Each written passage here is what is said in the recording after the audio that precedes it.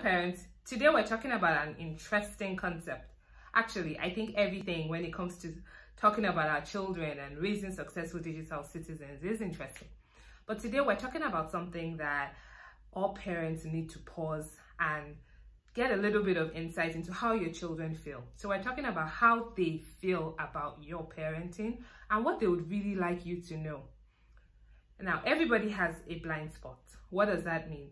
You see what you see, and sometimes you miss those things you don't see, those things you don't realize about yourself, and those things that are actually there, like the little foxes, that um, if you don't take care of them, they might hinder some of the things that you're actually trying to do or hinder some of the results that you're trying to achieve.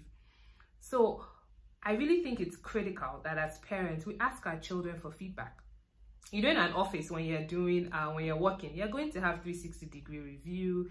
You're going to have yearly assessments with your hr manager with your boss. You're going to review your work. You're going to identify the areas you're doing well the areas that need some work where you need training things like that. Because without that you won't know what needs improvement and you won't know what you're doing well that you should continue to do. It's the same thing with parenting. The only people you're parenting are your children. They are the ones that are a result. They're the result beneficiaries of your parenting style, whether it's good, it's bad, it needs work, it's intentional, it's whatever it is, the gaps. Your children are the only ones that can give you that feedback. So it's important that we get used to asking them for their feedback. What do they think? What do they want? So I'm going to share with you some of the feedback that we've gotten across the board, you know, um, what some children want their parents to know. The first thing is they would like you to know that they are still learning. They don't have all the answers. So when you get irritated and angry and lose your temper at them, it hurts because they're still learning. And they're learning because they are children. So they don't know everything. And let's be honest, even you as parents, you don't necessarily do everything you should be doing. We're all work in progress. So they would like you to understand that and be a little more patient with them.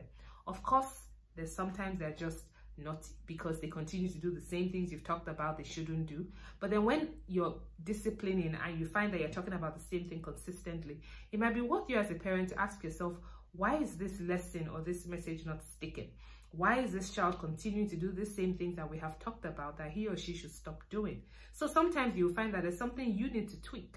Maybe you need to tweak what you ask them to do or maybe you've only focused so much on telling them what not to do. You haven't helped them with figuring out what the right steps are or what the right things they need to install put in place should be so that they can achieve the particular um, action you want. So it doesn't sound have to be so complicated but honestly ask yourself are you shouting and reacting about the same thing consistently? Why is it not working? And why is your child continuing to do what they shouldn't do? So your children want you to know that they're learning. And because they're learning you need to be patient to teach them the second thing they want you to know is when it comes to this digital world don't always come with a sense of suspicion. Too many parents show up and say what are you doing? You're on this thing again. You've been on the computer all day. What exactly are you doing? Don't come with judgment. Don't. They don't want you to do that. They're not always doing something bad. Sometimes they're learning. So I'm going to give you a practical example. This morning, I saw my son on his computer and I walked up and I said, what are you doing? And he was on Khan Academy. He was learning a math concept. And I was like, oh, really? Why? He said, yes, I know you always think I'm doing something bad online. I said, but I didn't say that. I just wanted to know why you're on Khan Academy. And he said, yes, this is a concept he needs some help with. So he decided to come and watch videos teaching him about that particular concept in math. And you know, I just paused and I said, imagine if I was a mom who showed up and the first thing I did was to shout, first thing on Saturday morning and you're on your computer. He was actually learning. So it's really important that when we're engaging them because we see them behind screens, we don't come with judgment first. Let's ask, oh, what are you doing? What are you, what are you doing? What are you watching? Then if you feel that they shouldn't be on for whatever reason, or you feel there's something else to do, then have that conversation.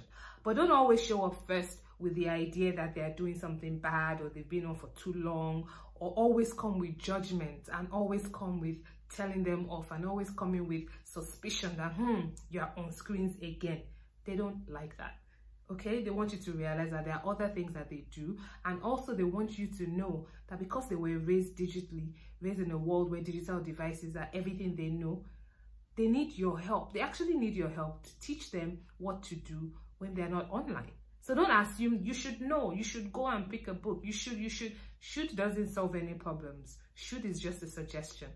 So those are just two things I want to share with you. They want you to know that they are learning, so be patient with them. And secondly, when it comes to screen times, don't always suspect them. Sometimes they're on there for the right reasons and you don't always want to be suspicious or start with judgment when you show up.